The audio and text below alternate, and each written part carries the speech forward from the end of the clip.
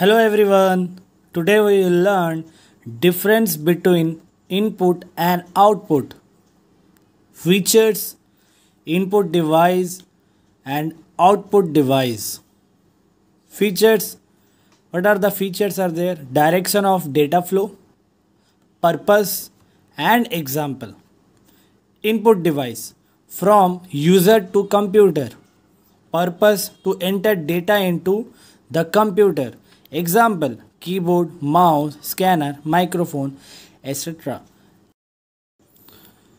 direction of data flow in output device from computer to user purpose to display data from the computer an example monitor printer speaker projector etc thank you so much for watching my video